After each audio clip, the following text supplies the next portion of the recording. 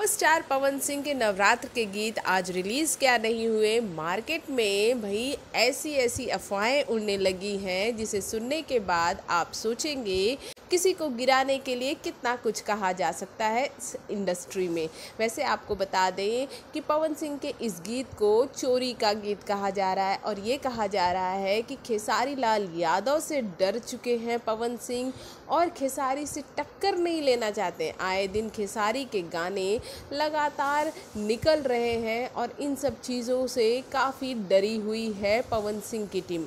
आपको बता दें कि ऐसा कुछ भी नहीं है, लेकिन फिर भी इस चीज़ को लेकर कि पवन सिंह का गाना आज क्यों नहीं रिलीज़ हुआ, बस इस चीज़ को एक मुद्दा बनाया गया और इस मुद्दे को बहुत बुरी तरह से उछाला जा रहा है। और ये कहा जा रहा है कि ये गाना चोरी का है। जबकि ऐसा कोई भी गाना यूट्यूब पर रिलीज़ तक नहीं किया गया है, जो कि पवन के गाने के नाम से हो। और इस बात की श्योरिटी रखी गई है कि पवन का ये गाना बिल्कुल भी इस तरह का गाना ना हो, जैसा कि इससे पहले खेसारी और पवन का गाना आरा वाला हो चुका था।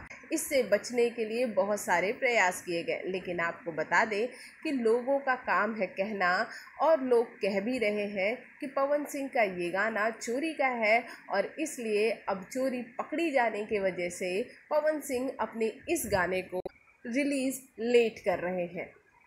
इस पे आपका क्या कहना है? कमेंट बॉक्स में कमेंट कीजिए। भोजपुरी जगत की हॉट और मसालेदार गॉसिप के लिए हमें सब्सक्राइब करना बिल्कुल ना भूलिए।